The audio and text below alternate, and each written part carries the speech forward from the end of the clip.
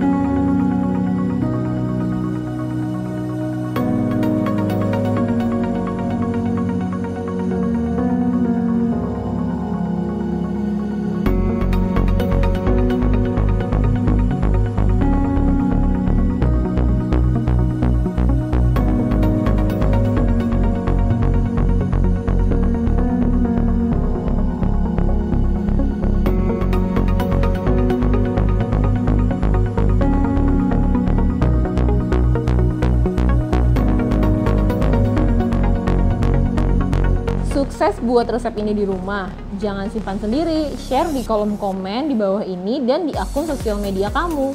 Jangan lupa tag sajian sedap ya. Masak enak, mudah, dan pasti jadi ya sajian sedap.